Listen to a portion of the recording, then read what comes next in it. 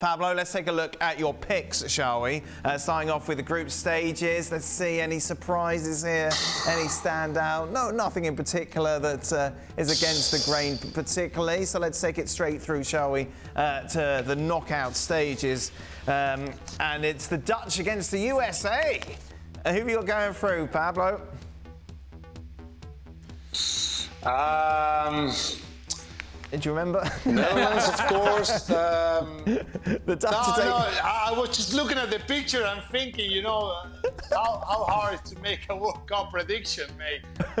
Hey, that's all right. So you've got Dutch Um, against Argentina, Spain, look, they're hurrying you up. Spain against Brazil, But- then, with Brazil beating Uruguay. Then Argentina, Brazil, semi final. We'll get to the result of that in a moment. Let's take it to the, the flip side. England, Ecuador. Obviously, England are going to win that. Uh, France against Mexico. Uh, we'll see England take on France. Germany against Portugal. A lot of people have got that, haven't they, as the quarter-finals. We take it to the semi-final. It will be France hmm. against Portugal. So let's take it to the bracket then. Brazil against Argentina. Hmm. Who have you got, Pablo? Here we go. Let me see. Yeah, here we go.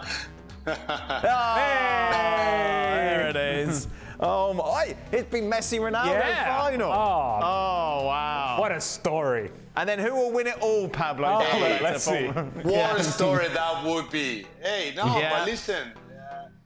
Uh, imagine two of the greatest players of this generation in Yeah. a World Cup final. In in the Yeah. last World Cup finals as well, you know. Uh, uh, Otamendi and Pepe. That would be simply. Uh, A hundred years of football on your screen. love it. I can't wait for it.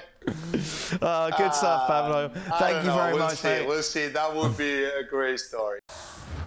Well, thank you very much for watching ESPN on YouTube. For more sports highlights and analysis, be sure to download the ESPN app. And for live streaming, premium content, and let's not forget as well, ESPN FC seven days a week. Subscribe to ESPN Plus.